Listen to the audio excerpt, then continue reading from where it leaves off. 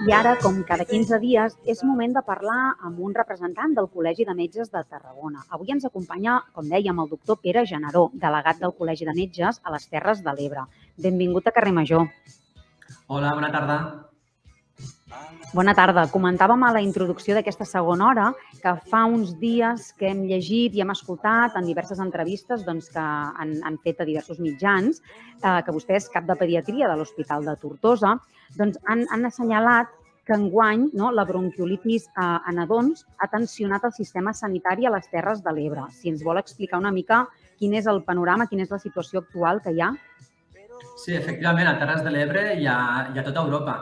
Enguany, el virus respiratori sincitial, que és el virus responsable de les bronquiolitis en els lactants i en els nadons, doncs, ha avançat la seva visita. Habitualment ens visita cap a finals de novembre i enguany a l'octubre ja tenim bronquiolitis i el número de pacients afectats ha sigut major i, a més a més, amb particularitat que ha afectat a nens més petits, que són justament els que més se compliquen i els que més requeriments assistencials necessiten. Quina seria la causa d'aquest avançament que comentava? Bueno, més que causes, exactament no les tenim. El que sí que s'han postulat són diverses hipòtesis. La hipòtesi que ha pres més força és la hipòtesi immunològica. Què diu aquesta hipòtesi immunològica? Pues el que afirma aquesta hipòtesi és que les dones, a l'entrar en contacte amb aquest virus, amb el virus respiratori, generen anticossos. D'acord? Estos anticossos passen al fetus quan estan embarassades i el nadó naix protegit de la infecció del BRS de manera natural perquè la seva mare, a l'estar en contacte amb aquest virus, les temporades prèvies, ha generat una resposta immunològica en forma d'anticossos. Ara, degut a les mesures preventives per la Covid-19, no, el BRS en les temporades 2021 ha circulat menys en la població general, amb la qual cosa les dones no han tingut l'oportunitat de fabricar anticossos. Per tant, els nadons que naixen, naixen desprotegits. D'acord? En, temporada, en temporades prepandèmies era excepcional veure nadons de poques setmanes amb una infecció per BRS. En canvi, la particularitat d'enguany és que molts, de, molts dels pacients que veiem són nadons molt petitets de pocs mesos de vida. Uh -huh, uh -huh. Uh, si de cas, anem a PAMS, perquè segurament aquesta notícia potser mm, ja els oients doncs, ja l'han anat sentint, no? Com deia, uh -huh. és una situació que no només passa a Terres de l'Ebre, que és on vostè doncs, té el seu, la seva àrea d'actuació, sinó que és una situació que està passant doncs, arreu d'Europa.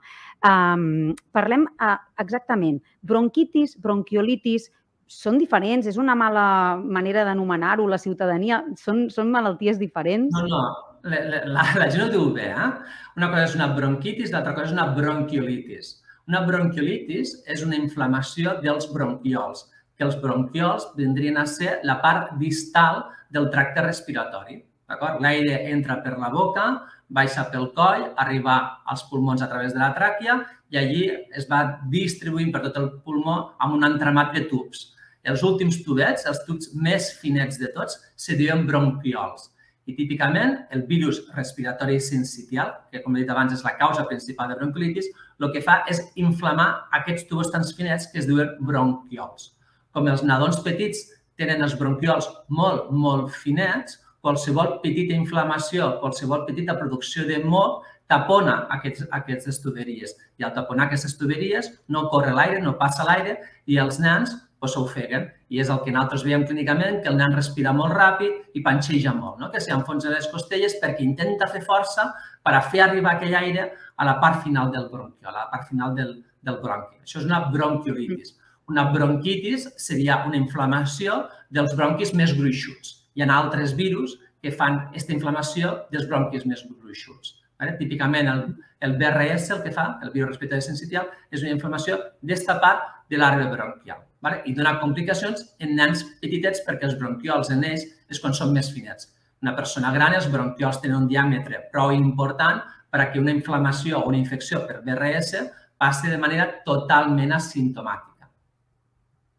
Per tant, de bronquitis i de bronquiolitis en podem tenir tant nadons petits i grans Uh -huh. Bronquitis, sí, les bronquitis cròniques, per exemple, dels fumadors. No? El tabac és un irritant de les vies respiratòries i inflama els bronquis. I tenim una bronquitis, en aquest cas no per causa infecciosa, sinó per causa del fum del tabac. No? Bronquitis tothom en pot tindre. Bronquiolitis per BRS. Les bronquiolitis per BRS afecten principalment als nens de menys de dos anys, perquè és quan els bronquiols són més finets. I, sobretot, la, la, la gravetat ve quan afecten a nadons de menys de sis mesos, perquè qualsevol mínima inflamació d'aquell bronquiol tan, tan finet doncs fa que el nen s'ofegui.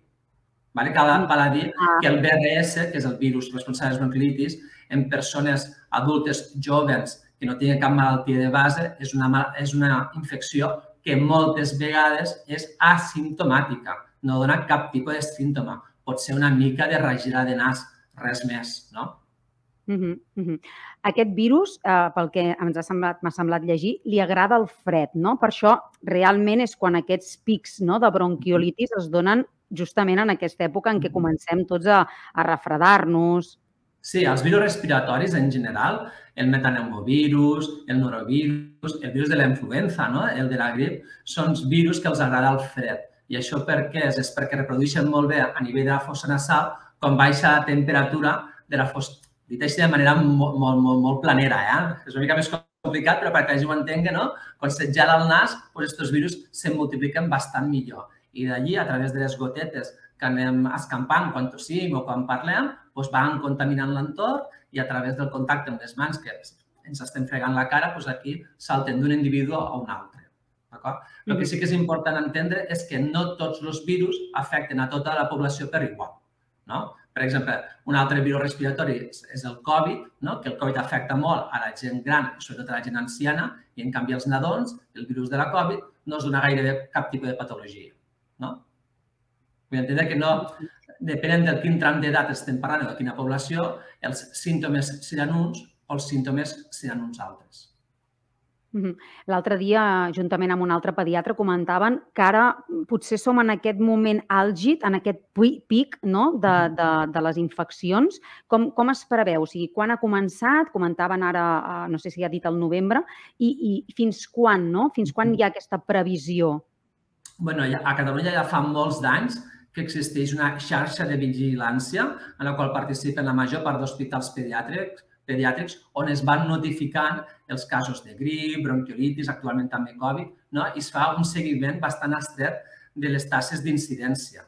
D'acord? El que vam veure és que fa uns 15 dies vam arribar a un pic màxim d'incidència del BRS que es va estabilitzar i ara estem poquet a poquet ja disminuint el nombre de casos. D'acord? Mm -hmm. Pel que fa al BRS, eh? baixa el BRS i quan se'n vegi el BRS, que habitualment ho fa al voltant de Nadal, comença el pic d'incidència del virus de la grip, que típicament arriba al seu pic doncs, a finals de gener. Això són les, les típiques corbes d'incidència dels virus respiratoris, no? que per sort no ens ataquen a tots alhora. Exacte. El que passa que sí que els que som pares i mares, encara que no siguem del món mèdic, doncs sabem que quan els nens i nenes són petits eh, hi ha etapes en què sembla que no deixen anar mai no? doncs, o la tos o els mocs i sobretot això passa quan són més petits. Després sembla, no sé si és que es van fortint tot, bueno, però... Sí, bueno, es van fortint. Una part és així, eh? una part perquè el sistema immunològic d'un nadó no és igual de madur que el sistema immunològic d'un nen més gran o d'un adult. No? Per tant, les infeccions doncs, els fan més mella, els afecten de major, major mesura i, a més a més, els nadons i els lactants petitets o els nens petits els fiquem en llocs on hi ha altres nens. No? I és molt fàcil doncs, que es vagin encomanant d'uns nens uns altres. Això bueno, també s'ha vist durant la pandèmia. No? El fet de tindre molta gent junta fa que aquests virus doncs, correguen més els contagis. No? I als centres escolars doncs, bueno, fiquem nens de la mateixa edat amb la mateixa susceptibilitat per partir d'aquelles infeccions durant 5 hores al dia. És fàcil que uns als altres doncs, es vagin compartint els mocs i els virus que originen aquests mocs. Mm -hmm.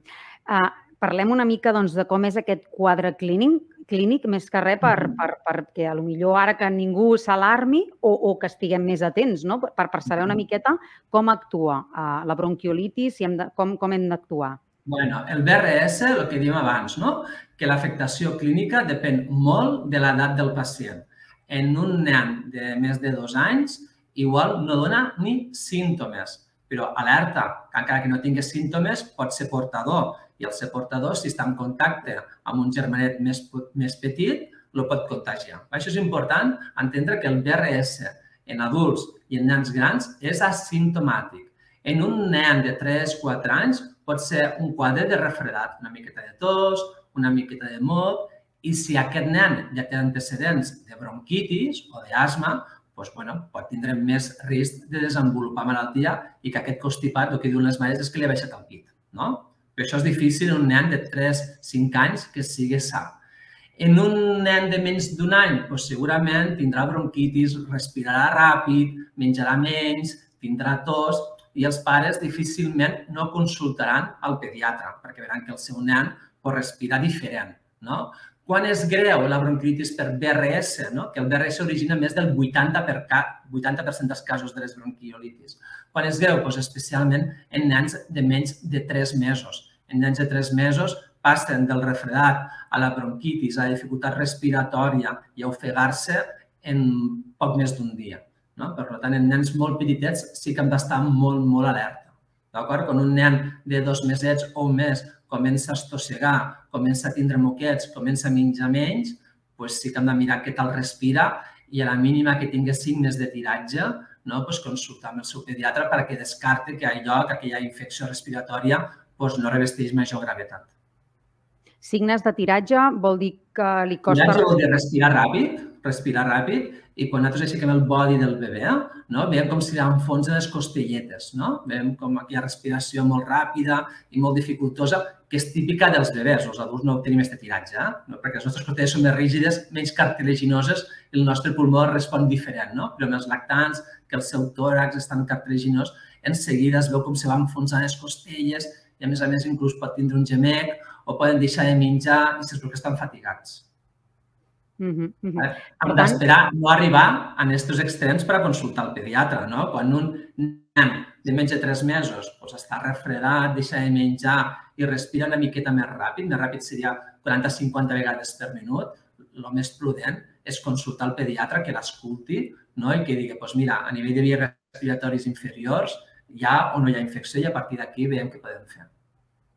-hmm. Per tant, eh, el pla d'actuació eh, com deia, el sentit comú, qualsevol que hagi tingut un nadó, sap que la que notem, inclús la mare té aquest sisè sentit que, que, que sap que quan una cosa falla, doncs, doncs ens n'anem segurament primer al CAP i en tot cas, eh, si calgués ja passaria, no? es derivaria a l'hospital. Sí, és així. El circuit és demanar visita amb el pediatre, el pediatre valora la situació i ara que hi hagi algun signe d'alerta, no? el que t'he comentat abans, doncs, d'hiporèxia, que el nen no menja, o que el nen tingui gemec, o que el nen estigui molt poc actiu, i els mateixos companys d'atenció primària ens el deriven aquí a l'hospital. Mm -hmm. Uh, avui n'hem fet notícia perquè, clar, la incidència d'enguany, segons han comentat, és que s'havia triplicat no? i que el nombre de nadons a l'UCI justament respecte a l'any passat, també s'havia multiplicat. Com, com ha sigut aquesta situació? Descrigui'ns-la també perquè ens siguem conscients del que ha passat, que a vegades si no et passa doncs tampoc saps què, què està passant. Sí, doncs mira, perquè tingues a, a data d'avui, eh? en un any, l'any anterior, havíem, des de l'Hospital de Tortosa, havíem derivat a cures intensives uns 5 nadons, d'acord? A data d'avui, el 2022, n'hem enviat més de 30 nadons a cures intensives, una mica per a que veigues la magnitud del problema. I la magnitud del problema ve donada sobretot perquè enguany la bronquilitis afecta a nens molt, molt petits. Nens d'aquells que et comentava abans que havien de néixer ja protegits pels anticossos de la mare i al no estar-ho, el BRS pues, els afecta i és en aquests nens tan petitets on tenim realment problemes. No? La mà... Ara recordar que excepte un, tots els que m'han derivat a intensius tenien menys de 3 mesos. Menys de 3 mesos. Mm -hmm. Mm. Són nens molt petits. Per això hi ha hagut tanta, no? tanta demanda de llits de, de cures intensives. I com és? O sigui, quan, també per, per saber, perquè segurament quan a, un, a una família li passa això i és com bastant eh, dramàtic, no? perquè encara que, que, clar, portar el fill a la UCI, a l'hospital, doncs és una, és una sort que tenim eh, que, que se'ls pugui atendre i que se'ls pugui fer tots els tractaments que siguin necessaris, però clar, és un moment angoixant, no? quan has de deixar... Com, com és? Quan un nen entra a l'UCI, quin és l'evolució, com, com, quines cures rep i normalment, segons els casos que han passat, quines, quants dies hi han, hi han estat? Vale. El hàndicap de les bronquiolitis és que al tractar-se d'una infecció vírica no té cap tractament etiològic efectiu. Els antibiòtics per a les bronquiolitis no serveixen perquè és una infecció vírica. I el tractament que tenim és un tractament de suport i el tractament mèdic en, en fàrmacs és un tractament poc efectiu. Podem donar-li budesonida, salbutamol, cortisona, estilsona, però és poc efectiu això per, a, per al tractament de la bronquitis per BRS. L'única cosa que podem oferir al nen és suport ventilatori. És a dir, si al nen li costa fer arribar aquell aire al final del seu bronquiol, el que utilitzem són eines, estris, que donen pressió positiva en aquell aire que respira el nen perquè entren més fàcilment. Vale? Comencem per unes ulleretes nasals de baix flux. Si aquestes ulleretes nasals no són suficients, aleshores fiquem unes ulleretes nasals que donen fluxes d'aire molt alts, molt alts, com a 20 litres per minut, això és molt de flux, d'acord? Però hi ha nadons que, malgrat tindre aquest suport ventilatori, doncs es fatiguen i no són capaços de fer arribar aquell aire. Aleshores, passem a ventilacions no invasives. La ventilació no invasiva és aquella ventilació, aquell casco que tots vam recordar de l'època del Covid, no? de, de calor, aquella mascareta que dona aire no? a pressió. I en aquest moment, quan els nadons necessiten una BNI, una ventilació no invasiva, és quan activem el trasllat a cures intensives. D'acord?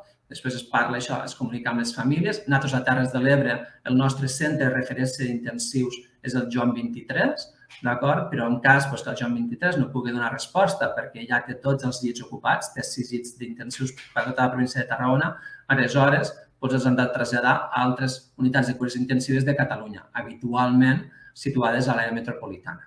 D'acord? Després el trasllat es realitza de manera medicalitzada, d'acord? Ve una ambulància amb un pediatre i una infermera pediàtrica, no?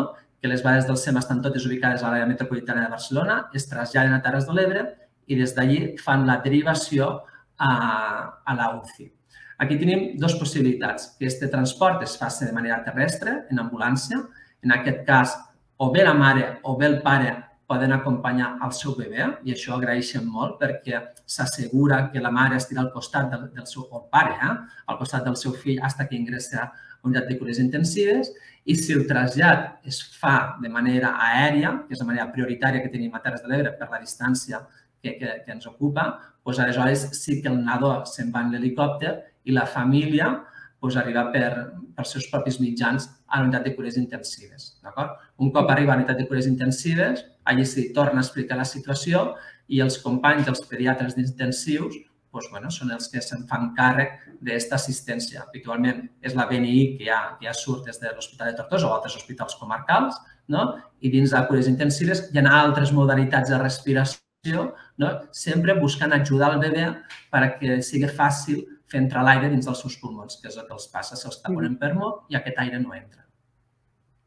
L'última pregunta. Quina, què podem fer per prevenir? Quin, quines serien no? Les, el que podem fer per, per evitar que agafin bronquiolitis o, o per millorar, no? si en tenen, què, què podem fer per millorar doncs, vale. aquesta fase? A veure, els pediatres estem molt esperançats, molt esperançats perquè ja l'Agència Europea del Medicament ha aprovat l'utilització d'un anticòs que prevendria aquest tipus d'infeccions i que amb una sola injecció el nadó estaria cobert durant sis mesos.